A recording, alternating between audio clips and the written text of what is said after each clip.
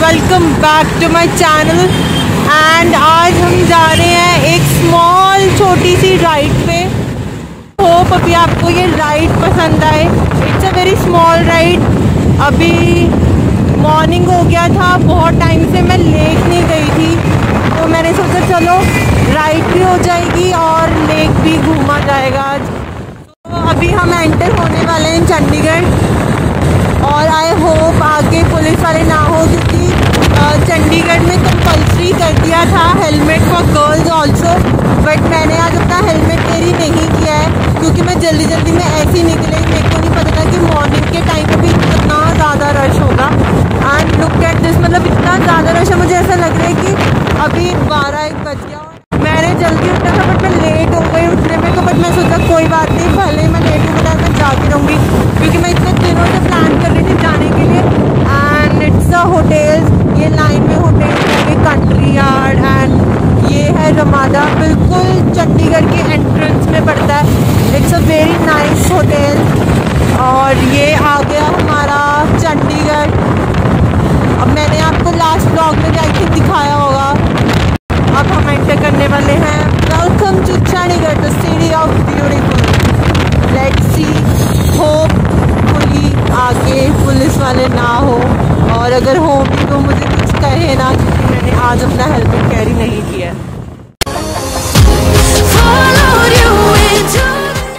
Two wheeler पे आप हो, आप स्लिप रोड से फटाफट निकल जाते हो तो मैं अभी स्लिप रोड पे आ गई हूँ। और जो इस तरफ़ की रोड है, वो रहा स्पीडोमीटर और इस तरफ़ की जो रोड है, वो फ़िलहाल अभी खाली है, क्योंकि आगे जाम है। मैं इसीलिए धीरे धीरे चल रही हूँ, ताकि जाम हो तो वो थोड़ा लाइट्स हो जाए ऑन और मैं निकल जाऊँ इसके तो ये है सी आर पी एफ़ ये दिख रहा होगा।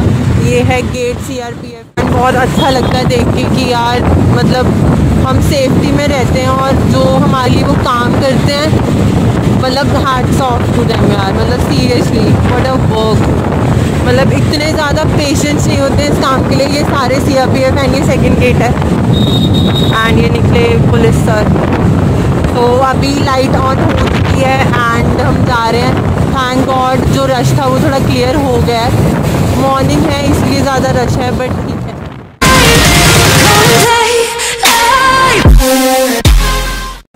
तो अब हम पहुँचने वाले हैं छब्यू चौक जहाँ से हमें सिर्फ़ राउंड अबाउट लेके जाना है स्ट्रेट नो स्ट्रेट नहीं सारी राइट हम आगे से नहीं जाएँगे, हम पीछे से जाएँगे। तो यार कितना अच्छा लग रहा है ना। मतलब चंडीगढ़ में आके ऐसा लगता है कि हम हरे भरे एरिया में आ गए। मतलब लुक ग्रीनरी यार, क्या ग्रीनरी है मतलब और पेड़ की कटिंग्स कैसे कर रखी है। I I don't know how they do it but सही में मतलब ऑसम हैट्स ऑफ़ टू जो भी म्यूनसिपल कॉरपोरेशन के वर्कर्स हैं. I mean they are doing very very good and इस तरफ़ को जाएँगे तो इंडस्ट्रियल एरिया आता है। इंडस्ट्रियल एरिया वन इस तरफ़ जाएँगे इंडस्ट्रियल एरिया टू यहाँ पे होटल्स भी हैं ऑन रोड इफ़ कोई आए तो यहाँ पे रह सकता है। सामने आया है मनाली, धर्मशाला, ये आ गए हम चौंक पे। यहाँ पे है थोड़ा सा रश थोड़ा नहीं रश तो नहीं कह सकते। तो ये ट्रिब्यून चौंक हम आ गए हैं। फाइनली हम अपने डेस्टिनेशन पे पहुँच चुके हैं एंड मैं बिल्कुल ही सूना है। मतलब कोई है ही नहीं यहाँ पे।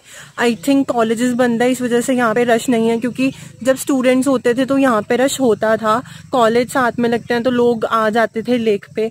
तो लेकिन यहाँ पे इस टाइम कोई भी नहीं है क्योंकि यहाँ पे लोग 11 बारह बजे तक भी एक्सरसाइज करते थे, अपनी जॉगिंग कंटिन्यू करते थे। लेकिन अभी तो कुछ भी नहीं तो अभी ऊपर जाके देखती हूँ कैसा माहौल होगा। एंड बाय द वे ये वही वाले हेडफोन्स हैं जो मैंने लास्ट टाइम अपनी अनबॉक्सिंग करी थी और ये बहुत बहुत बहुत ज़्यादा अच्छे हैं।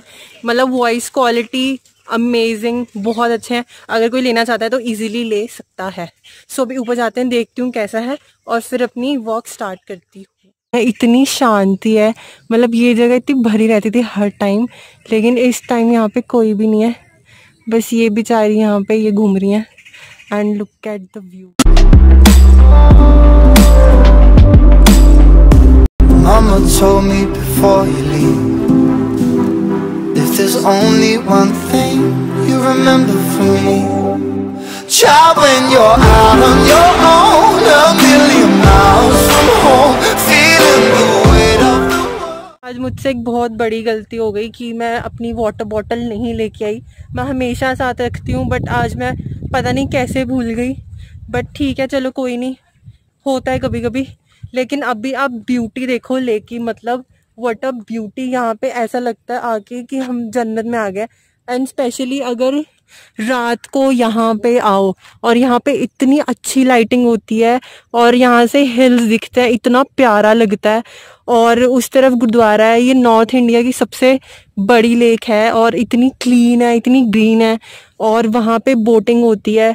अभी तो फ़िलहाल बंद है क्योंकि धूप इतनी है और वैसे भी कोविड करके सब कुछ बंद हो रखा है। लेकिन फिर भी ब्यूटी यहाँ की कोई कम नहीं हुए, हुई है। बट अभी देखो कब तक ये सब कुछ चलेगा। आई होप ये सब कुछ जल्दी ख़त्म हो जाए और सूरज देवता भी थोड़े मेहरबान हो जाए। अगर बारिश डाल दे तो बहुत अच्छा हो जाएगा।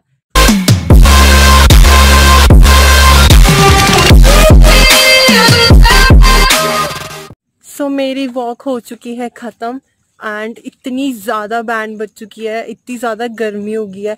मतलब मैंने एक्सपेक्ट नहीं किया था कि इतनी ज़्यादा गर्मी होगी क्योंकि मैं पहले भी आती हूँ लेकिन इतनी बुरी हालत कभी नहीं होती बट अभी मेरी बहुत ज़्यादा बुरी हालत हो रही है और मैं पानी से मतलब गला मेरा एकदम सूख चुका है क्योंकि इतनी ज़्यादा गर्मी है और यहाँ पे इस टाइम सब कुछ बंद है यहाँ पे मार्केट्स भी बंद है।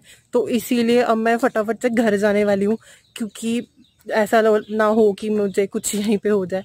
सो भी घर तो गाइज़ अभी मैं आ चुकी हूँ सेक्टर थर्टी फाइव में। मैकडोनल्ड्स है यहाँ पे। बहुत ज़्यादा भूख लग रही थी।